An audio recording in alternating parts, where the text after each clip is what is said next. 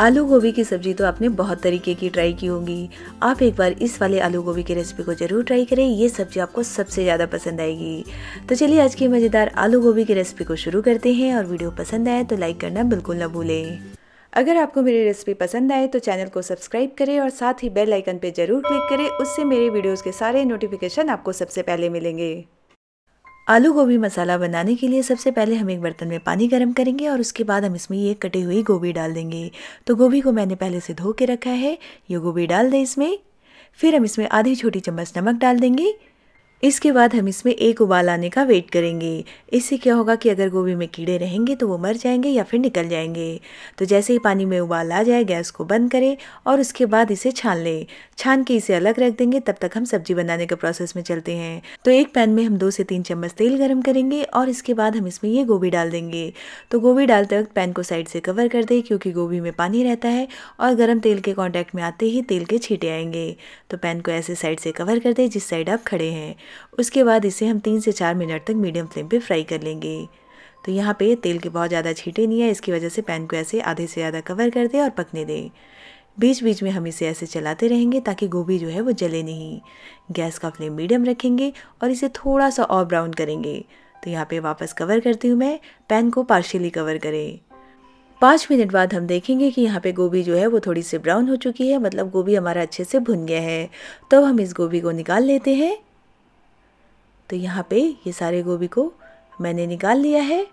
अब हम same pan में वापस दो चम्मच तेल डालेंगे और उसके बाद दो मीडियम साइज़ के आलू को काट के इसमें फ्राई कर लेंगे। तो आलू को मैंने धो के काट के रखा है पहले से। यहाँ पे आलू डाल दें और जैसे हमने गोभी को फ्राई किया है, वैसे ही आलू को फ्राई करके निकाल लेंगे। तो जब तक आलू फ्राई हो रहा है, तब तक हम क्या करेंगे कि एक मसाला बना लेते हैं। तो इसे कवर कर देती हूँ और मिक्सर जार में हम एक चम्मच धनिया ले लेंगे, एक चम्मच जीरा ले लेंगे एक चौथाई छोटा चम्मच काली मिर्च या फिर काली मिर्च का पाउडर, एक मीडियम साइज़ का प्याज ऐसे कटा हुआ ले लें। इसके बाद हम इसमें डालेंगे ये अदरक, लहसुन और हरी मिर्च। तो यहाँ पे दो इंच अदरक डाल दें, दो हरी मिर्च और आठ से दस लहसुन की कलियाँ डाल दें। इसमें हम थोड़ा सा पानी डाल देंगे और जार का ढक्कन बंद करके हम इसका एक पेस्ट बना लेंगे। तो यहाँ पे मैंने इसे ब्लेंड कर लिया है। तो ये हमारी सब्ज़ी का मसाला रेडी है। अब हम चलते हैं वापस पैन की तरफ़, जहाँ पे हमने आलू को फ्राई होने के लिए रखा था। तो यहाँ पे आलू का कलर भी गोल्डन ब्राउन आ चुका है। तो हम क्या करेंगे, आलू को भी निकाल लेते हैं, जैसे हमने गोभी को निकाला था। तो हमने मसाला पहले से बना के रखा है, आलू गोभी हमने फ्राई कर लिया है। अब हम चलते हैं फाइनल प्रोसेस में, जहाँ पे सब्ज़ी का मसाला बनाएँगे। तो यहाँ पे सेम पैन में थोड़ा सा तेल वापस डालेंगे, तेल इसमें ऑप्शनल है। जैसे ही तेल गर्म हो जाएगा, आधी छोटी चम्मच जीरा डाल दें इसके बाद हम इसमें दो तेज पत्ता डालेंगे थोड़ा सा दालचीनी, एक चक्र फूल ले लेंगे थोड़ी सी जावित्री और दो छोटी इलायची मैंने तोड़ के रखा है। इन सबको ऐसे गर्म तेल में डाल दें और इन्हें तेल में हम थोड़ा सा पका लेंगे ताकि इनका जो फ्लेवर है वो तेल में आ जाए। फिर हम इसमें तीन मीडियम साइज़ के प्याज डाल देंगे तो प्याज को मैंने ऐसे लंबे स्लाइसेस में काटा है। इस सब्ज़ी में प्याज ज़्यादा अच्छा लगता है, इसलिए मैं सजेस्ट करूँगी कि प्याज थोड़ा ज़्यादा यूज़ करें। मिला देंगे इसे। प्याज को हमें तीन से चार मिनट तक मीडियम फ्लेम पे भून लेना है या फिर इसे तब तक भुने जब तक ये गोल्डन ब्राउन ना हो जाए। तो यहाँ पे आप देख सकते हैं कि प्याज का जो कलर है वो पहले से चेंज हो गया है, प्याज थोड़ा ब्राउन दिख रहा है। यहाँ पे आप देख सकते हैं तो अब हम इसमें मसाले डालेंगे। तो मसाला डालने से पहले गैस का फ्लेम लो कर दें और उसके बाद हम इसमें आधी छोटी चम्मच हल्दी पाउडर डाल देंगे। दो छोटी चम्मच हम लाल मिर्च का पाउडर डाल देंगे। मैं यहाँ पे काश्मीरी लाल मिर्च यूज़ कर रही हूँ। इन दोनों को अच्छे से मिला दें। हल्दी और लाल मिर्च गर्म तेल में डालने से सब्ज़ी का कलर जो है वो बहुत अच्छा आता है, लेकिन ध्यान रहे कि तेल अगर बहुत ज़्यादा गर्म है तो हल्दी और लाल मिर्च जल जाएगा, इसलिए तेल का टेम्परेचर कम रखें। अब हम इसमें ये पिसा हुआ मसाला डाल देंगे। तो यहाँ पे थोड़ा सा पानी डाल के मैं ये पूरा मसाला यूज़ कर ले रही हूँ। मिला दें इसे। तो यहाँ पे प्याज को मसालों के साथ हमने मिला दिया है। अब हम इसे ढक के लो फ्लेम पे पाँच मिनट पकाएँगे।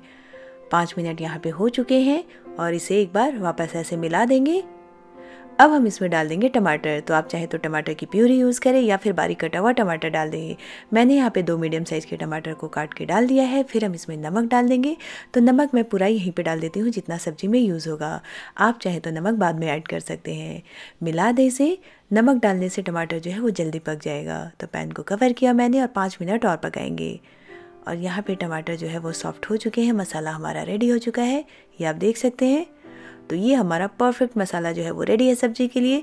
तो अब हम इसमें फ्राई किया हुआ ये आलू और गोभी डाल देंगे।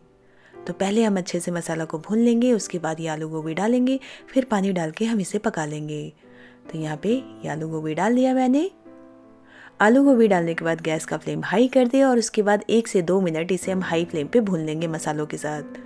आलू गोभी की सब्ज़ी आपने बहुत तरीके की बनाई होगी। आप एक बार इस तरीके से आलू गोभी बनाइए, ये सब्ज़ी आपको बहुत पसंद आएगा।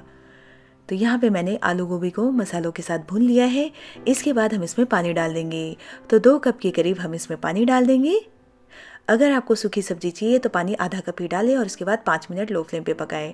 लेकिन अगर आपको ग्रेवी वाली चाहिए तो आप ऐसे पानी डाल दें और इसके बाद हम इसे ढक के 10 मिनट लो फ्लेम पे पकाएँगे।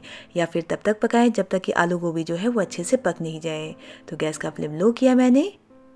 नमक हम इसमें नहीं डालेंगे, नमक हमने पहले ही डाला है। तो यहाँ पे 10 मिनट हो चुके हैं और ये हमारी सब्ज़ी जो है वो बहुत ही कलरफुल दिख रही है। तो ग्रेवी की थिकनेस जो है वो गैस ऑफ़ करने के बाद और भी ज़्यादा गाढ़ी होगी, इसलिए हम इससे ज़्यादा यहाँ पे नहीं पकाएँगे। आलू को एक बार चेक कर लें। तो यहाँ पे आलू एकदम परफेक्ट पका हुआ है, ये आप देख सकते हैं। तो लास्ट में हम क्या करेंगे कि यहाँ पे इसके ऊपर थोड़ा सा धनिया पत्ता डाल देंगे, इससे टेस्ट बहुत अच्छा आएगा। और इसके बाद जो मैजिक ट्रिक है, जो इस सब्ज़ी के स्वाद को दुगना कर देगा, वो है घी। तो गैस बंद कर दे और उसके बाद एक चम्मच घी इसके ऊपर डाल दे। इससे सब्ज़ी बहुत ही टेस्टी बनेगी, लेकिन अगर आपको नहीं घी पसंद है तो आप घी को स्किप कर सकते हैं। ढक के इसे पाँच मिनट छोड़ दें। पाँच मिनट बाद हम ढक्कन हटाएँगे और ये हमारी मज़ेदार आलू गोभी की सब्ज़ी जो है, वो रेडी हो चुकी है। तो अब हम चलते हैं इसे सर्व करने के प्रोसेस में। तो सर्व करने के लिए आप इसे एक सर्विंग प्लेट में निकाल लें। और यहाँ पे आप देख सकते हैं कि सब्ज़ी कितना कलरफुल दिख रहा है। आप इस सब्ज़ी को रोटी के साथ खाएँ राइस के साथ खाएँ या फिर पराठे के साथ खाएँ, पूरी के साथ खाएँ, सबके साथ ये बहुत अच्छा लगता है। तो ये हमारी आलू गोभी की मज़ेदार सब्ज़ी जो है वो रेडी हो चुकी है। आप एक बार इस रेसिपी को ज़रूर ट्राई करें, ये सब्ज़ी आपको बहुत पसंद आएगी। तो लास्ट में आप चाहे तो इसके ऊपर धनिया पत्ता या फिर ऐसे हरी मिर्च कटी हुई डाल के आप इसे गर्मा गर्म सर्व करें। अगर आज की रेसिपी आपको अच्छी लगी हो तो प्लीज़ आप मेरे वीडियो के नीचे लाइक का बटन क्लिक करें और मेरे चैनल को सब्सक्राइब करना ना भूलें।